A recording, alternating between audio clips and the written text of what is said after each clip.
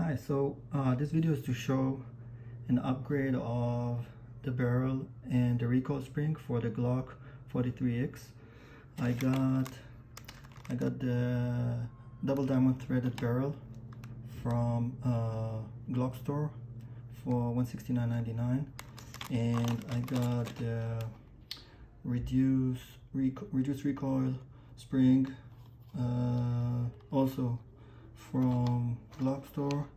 This is 79.95 I'm not affiliated with them in any way. I bought it for the full price. And uh, I'm just sharing my uh, uh, honest experience with it. I already uh, it was already as uh, assembled equipped with the gun and I already shot with it. And uh, it's the difference is amazing and I really really recommend that. And it's a very easy process. Again no tools needed uh, so let's start. First we'll check.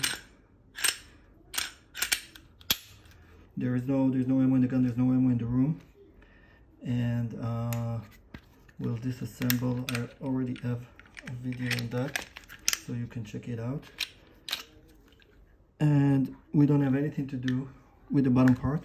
We only need to change stuff on the slide. So we'll remove uh, the original spring and we'll remove the original barrel. And what we'll do is we'll take the threaded barrel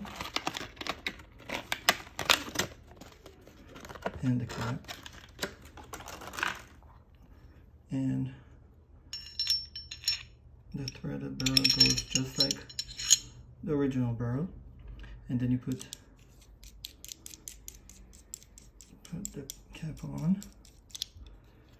And then we take the reduced recoil spring. Again goes same way.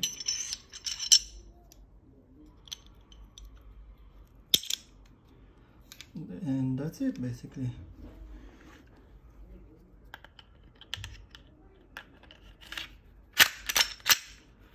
And here you go.